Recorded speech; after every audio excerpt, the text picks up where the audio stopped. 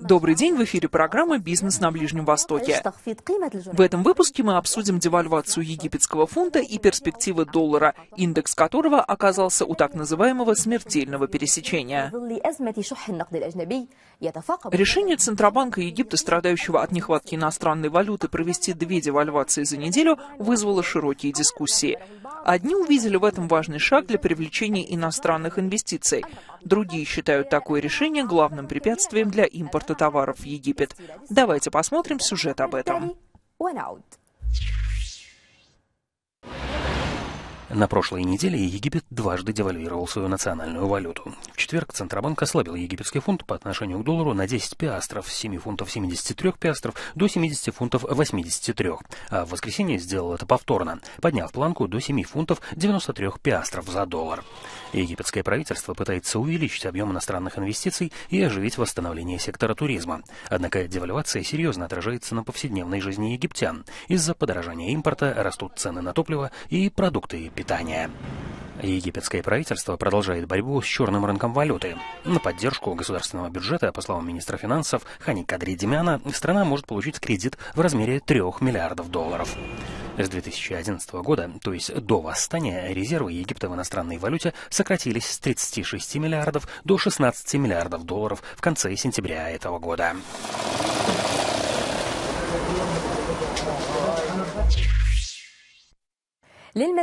Чтобы более подробно поговорить о египетском фунте и долларовом индексе, мы связались с Нурелидином Аль-Хамури, главным рыночным стратегом компании EDS Securities из Абу-Даби. Насколько эффективно решение девальвировать египетский фунт в условиях нехватки валюты и существования черного рынка?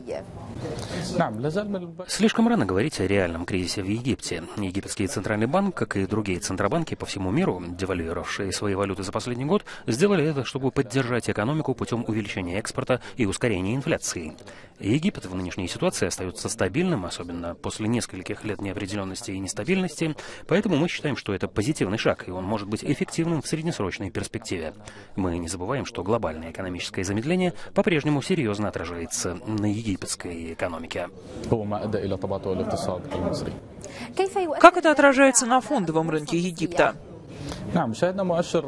Индекс и GX30 все еще находятся под давлением после недавних глобальных распродаж. Мы не думаем, что решение Центрального банка для него является хорошей новостью, тем более, что сохраняется неопределенность относительно глобального рынка акций. Кроме того, ослабление египетского фунта на фоне продолжающегося глобального экономического замедления не будет хорошей новостью для корпоративных доходов.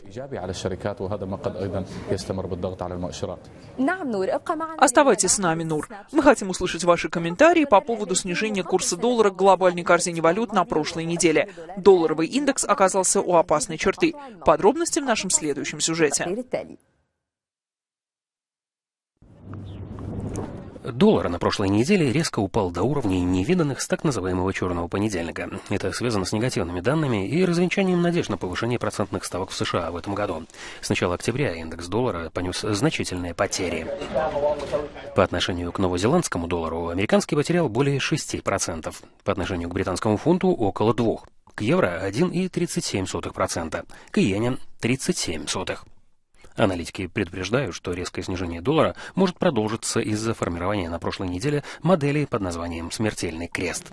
Это негативный знак, отмечающий для доллара завершение тенденции повышения.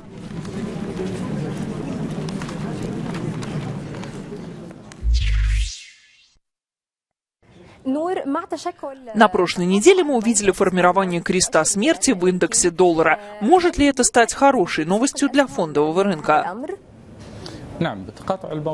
Смертельный крест образуется раз в несколько лет. Это происходит довольно редко. Когда 50-дневные скользящие средние опускаются ниже 100 и 200-дневных. Корреляция глобальных акций, особенно американских, с долларом США на прошлой неделе была отрицательной.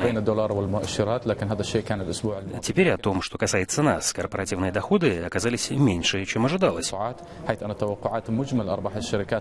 Кроме того, общая прибыль на акцию сократилась на 5%. Банков. Доходы многих банков разочаровали в сравнении с предыдущим кварталом. Поэтому, если экономические релизы продолжат разочаровывать более низкими корпоративными доходами, это может сохранить положительную корреляцию между долларом и американскими акциями.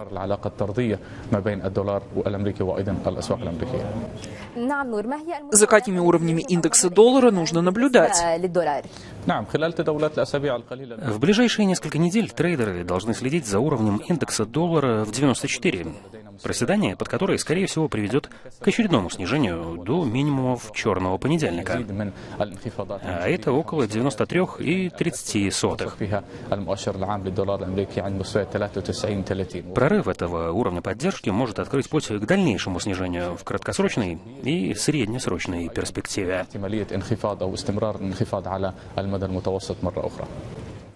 Спасибо, Нур.